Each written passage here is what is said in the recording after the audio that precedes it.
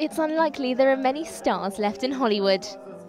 Most of them are here, the annual Cannes Film Festival in the south of France, arguably the most prestigious of them all. The 12 day celebration of cinema transforming the French Riviera into Europe's Tinseltown. The opening day's red carpet littered with striking celebrities, designer dresses, and persistent paparazzi. Expecting her second child with husband Ryan Reynolds, leading Lady Blake Lively redefined maternity wear. Former Spice Girl Victoria Beckham opted for a jumpsuit. All the better for after parties like these.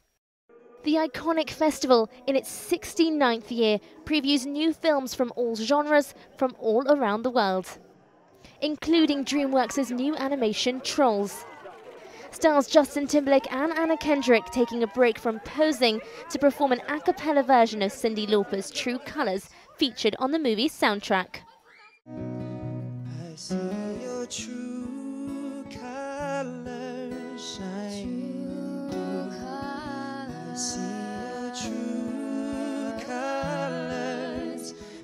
that's why I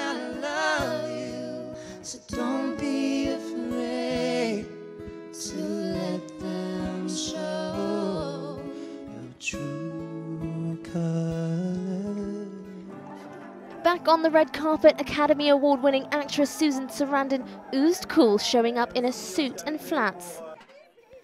Kirsten Dunst, who was clearly ready for the sunshine which never actually materialised, dazzled in a yellow gown. But she is also there to do a job.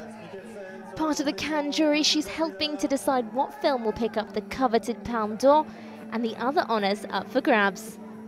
The results of great interest to thousands.